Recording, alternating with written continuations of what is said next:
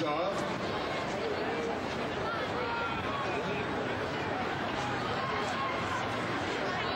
George Mason out of the lead first.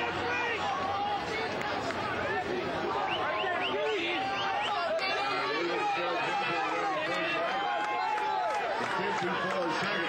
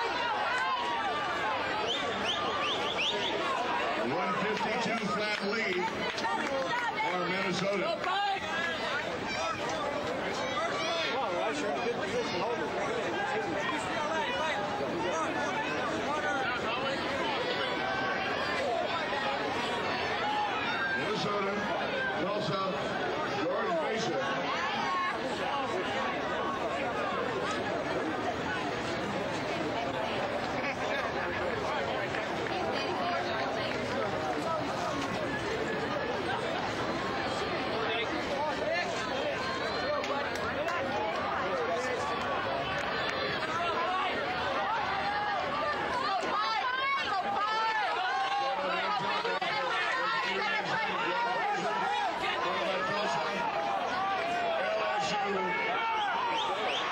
with Justin Burrow with Arkansas.